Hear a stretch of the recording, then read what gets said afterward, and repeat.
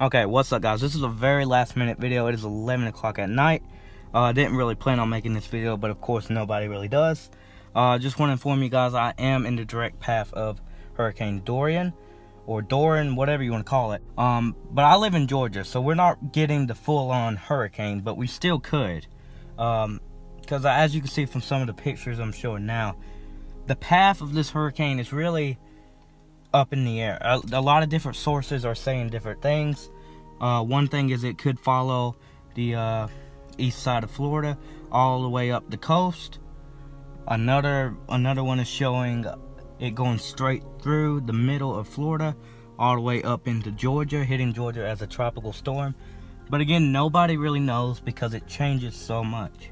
And this storm is moving really slow across the ocean, which pretty much means it's getting stronger and stronger every minute.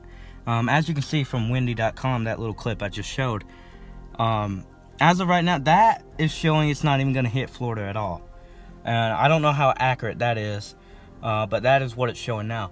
Um, anyways, just making this video. Um, if anything crazy does happen, uh, there will be a follow-up video. Um, of course, if we lose power or anything like that, I won't be able to upload it. Um, but if you want to keep get updates, I will be posting updates on Twitter and stuff like that.